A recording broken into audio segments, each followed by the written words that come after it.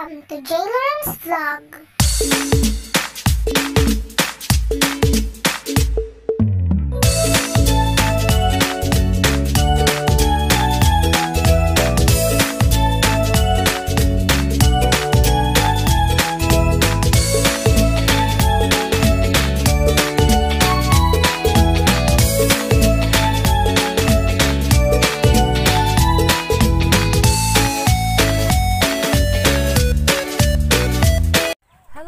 This is J. Loram and welcome to my YouTube channel. So ayun nga guys, um, ngayong araw na to is um, ano ba 6 Nove- ay November. May 6, 2020. So, time check is ang oras na ba? 9:19 in the morning. So guys, kahapon is 40 days ng nanay namin, which is nakwento ko na din sa inyo yung past na vlog ko na nakwento ko doon kung paano namatay si nanay at kung bakit namatay, kung anong sakit, bak- kung anong mga nangyari. So, pwede nyo yung ah, panoorin. Ang title nun is kung paano ah, naapektuhan ng COVID yung fam- yung pamilya namin. Kasi nga doon nga sa nangyari about kay nanay. So, kung gusto niyo panoorin guys, mag-back na lang kayo sa mga videos ko. Naka-upload ko dyan yung video. At kung gusto niyo malaman kung bakit namatay si nanay at kung paano namatay si nanay. So, andyan yun. So, kahapon guys is 40 days niya. Hindi, ko, hindi na ako nakapag-vlog kasi sobrang busy. And nagluto, nag-asikaso, tapos nagpa nagpadasal kasi kami guys ng 3 days. So, kahapon last. And then kahapon din, yung papat, kapatid ko pumunta sila dito. Tapos, um, ginawan nila ng saronggola yung anak ko. So, ipapakita ko sa inyo yung mga video na nakuhanan ko kahapon dun sa paggawa nila ng saranggola. Kasi na-late na talaga akong nag-vlog guys kahapon. Kasi nga sobrang busy ako ng morning hanggang tanghali. Bali gumawa si ginawan kasi nila ng saranggola yung anak ko, yung papa ko, tsaka yung kapatid ko. So, yun lang na video ko talaga guys kasi doon na ako doon lang ako nagkaroon ng free time. So guys, ipapakita ko sa inyo yung video kung paano na paano nila ginawa at kung lumipad ba yung saranggola na ginawa nila for my son. So, keep on watching guys.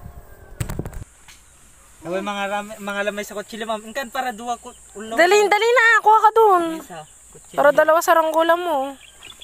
Ay, Oh, gagawa sila ng saranggola. Sige na, dali na, kuha ka na doon na. Tak- Galing pa San Fernando ang mga gumagawa.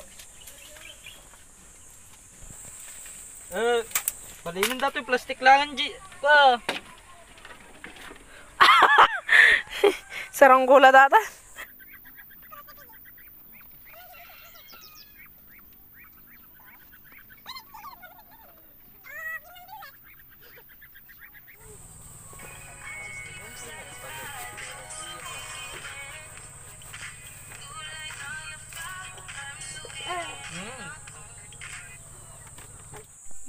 Guys, malapit nang matapos. One. Konti na lang. No, guys. Iga ma'am. Tapos na yung saranggolang isa. Oh. Iga ma'am Ramjin. Pero titignan natin kung lilipad ba. Mhm. Tapos yung isa dito. Ni agpak. May may, may kulay na data niya. Jing, tignan mo ah. Mas maganda kulay nito niya. Stripe, stripe. Wow. Ang ganda na ito. Ay, no. Tatawa mo, ano, tumayab mo lang. Titignan natin kung lilipad. Opia man ni popcorn. Mabigat ang ulo kaya hindi lumilipad.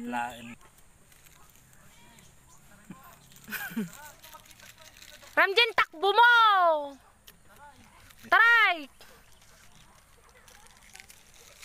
Maya Ah, mat! no, Maya! dangin. Kurang pwede, kurang pwede ipos na.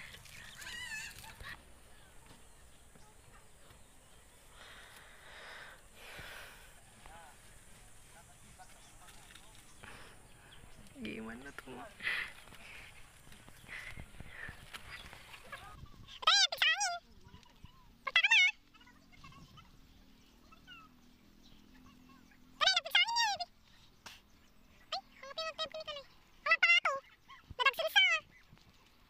So, itatry nila yung pangalawang ginawa nila. So, dito tayo. Lagyan nyo.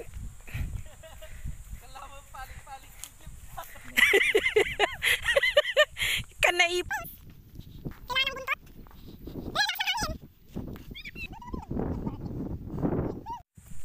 Oh, dyan ni Ram dyan. Mayatan dyan may isa niya. Tumayaman. oh, ganda na nun, Jing. Oh.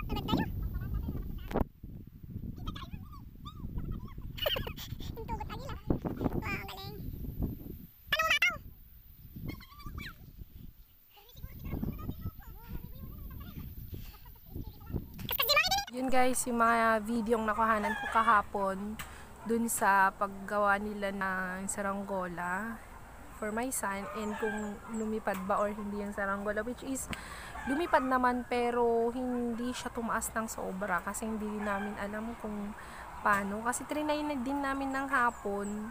Eh nakauwi na yung papat kapatid ko nun. So wala nang na, tumingin kung ano ba yung kulang or kung ano ba yung mabigat kasi hindi siya tumataas talaga hanggang at sabagay at least may saranggol yung anak ko para paliparin dyan kapag kapag malakas yung hangin. Like ngayon guys hindi hindi maaraw. Yung nakikita yung sinag dito sinag lang kasi nga yung syempre um- umaga. Pero guys ngayong araw kasi na to is hindi walang ano wala walang araw. Hindi mainit parang cloudy day, cloudy day or cloudy day, windy day, mga ganun. Pero hindi siya sunny day. So guys, yun nga, um, yun yung mga video na nakuhanan ko kahapon. And this day, nag, gusto ko lang i-share yung nangyari kahapon. And then ngayon, gusto ko din talakayin about Then sa napanood ko kag- kagabi, kasi nagulat nga din ako kung bakit nangyari yun. About dun sa pag sa shutdown ng ABS-CBN. So, gusto ko lang din magbigay ng opinion about dun sa nangyari.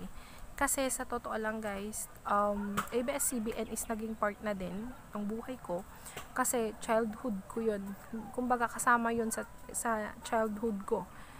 And then, eh, since bata talaga ako guys, since nung, eto, eto, eto ako ngayon, 28 years old na ako, na yung ABS-CBN is naging na- kumbaga, yung ABS-CBN is naging party na ng buhay ko. Kasi never akong nanood or tumutok sa isang station kung hindi ABS-CBN lang. Station. hindi, marami ni, sorry, station, channel, TV channel, kundi ABS-CBN lang talaga. Doon lang talaga ako nanonood ng drama, mga noontime show, mga balita, which is ABS-CBN lang talaga since noon pa. Manonood man ako sa kabila, siguro silip lang, minuto lang, babalik ulit sa ABS-CBN kasi hindi ko din alam kung bakit ayaw ko yung ibang ibang channel ng sa, sa TV. So, yun nga, nakakalungkot kasi nawala yung ABS-CBN and nakakalungkot lang din kasi yung mga favorite na artista ko yun, yung anak ko nga nagulat, nagulat kanina kasi nung nag, nagbukas ng TV, manonood daw siya sa ABS-CBN, which is na, nagulat siya. Sabi niya, Mama! Sumigaw talaga yung anak ko, nagulat ako. Sabi ko, bakit? Mama, bakit yung, yung 2 ayaw na? Sabi niya, ayaw niya, wala, wala, asing wala na, blanco na talaga, wala ka nang makikita, asing blanco na talaga. Which is naka-open naman yung TV, pero wala ka na talagang makikita, asing blanco na. Sabi ko, anak, wala nang ABS-CBN pasara na kahapon, last nila kagabi, yung news nga. So sabi niya, bakit ganon? Bakit niwala nila? Eh, ang ganda-ganda. Sabi ko, manood ka muna din sa kabila. Ayaw ko dun. Ayaw niya daw. So, yun nga guys, ang, ang, ang sakit. Kasi, guys, kung may mga naririnig kayong mga huni ng manok or something, pasensya na kasi. Yun nga sabi ko sa inyo, dito sa amin, uh, probinsya, malapit kami sa bukid, marami kaming alagang manok, aso. Hindi naman ganoon kadami yung kapitbahay, pero yung mga manok maminsan maingay. So, sana okay lang yun sa inyo. And then yun nga, um, masakit isipin na wala na yung ABS-CBN. Sana ipaglaban ng channel, yung mga namamahala ng ABS-CBN na sana ibalik nila yung yung channel ng ABS-CBN kasi guys hanggang ngayon talaga hindi ko matanggap na wala na yung ABS-CBN sa 65 years na na um, naglingkod sila sa mga tao madami silang napasaya. Especially ang Showtime TV Patrol as in ang dami kaming ang dami naming natutunan halos uh, everyday kami tumatawa tapos ganon na lang biglang mawawala.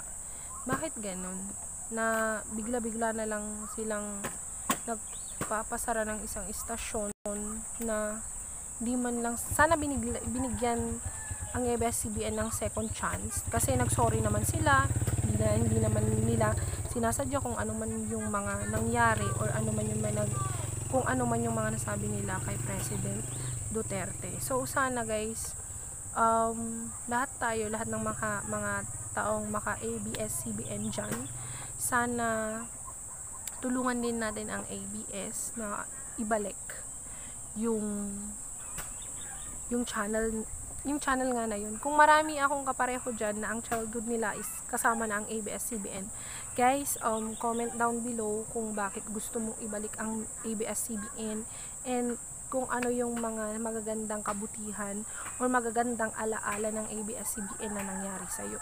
So, so, yun nga guys, uh, comment down below or share this video para mapanood din ng mga tagapagsubaybay ng ABS-CBN. So, yun. Sana binigyan nila ng second chance ang ABS-CBN.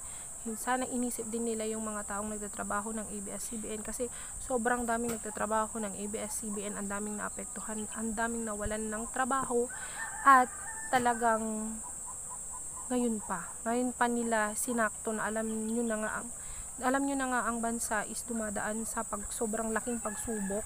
Kasi nga crisis nga. Tapos yung oh, yan anak ko magsasaranggola na naman. Tapos bigla na lang sinasabay ng NTC naman yung pagkawala bi, pagkawala pagkabisa ng ng franchise ng ABS sana hindi ngayon. Kasi nga kailangan yan na lang yung mga libangan namin ngayon yan na lang yung mga libangan namin yung manood, makinig ng radyo, DCMM, tapos mga mga mga show ng ABS-CBN. So yun na lang siguro yung mga nagpapa Siguro yun na lang siguro guys yung nagpapa ano sa amin. Nagpapa ligaya ngayon. Maliban mala, ma, maliban dun sa mga yun mga nakakasalamuhan namin everyday dito, mga kapitbahay namin. Sana naman ibalik na yan yung ABS-CBN kasi sobrang halaga ng ABS-CBN sa amin. So, pagbigyan nyo naman yung ABS-CBN, sana i-renew na yun, i-renew sana po ma-renew na yung ano na yung franchise nila para bumalik ang ABS-CBN kasi kaligayahan din ng maraming Pilipino ang ang ABS-CBN. Kaligayahan din namin manood like mga drama nila, mga mga noontime show nila, mga news, is doon na kami nasanay. Sana pakinggan nyo din ang taong bayan and sana po um, mabigyan pa ng pagkakataon ang ABS-CBN. So guys, we hope na mabalik nga ang channel 2. So guys, thanks for watching on my video and sana nag-enjoy ka sa tinalakay natin and sabi ko nga comment down below yung mga sumasubaybay sa ABS-CBN and yun guys. Please like, comment, and share this video. And don't forget to subscribe and um, see you on our next vlog. Bye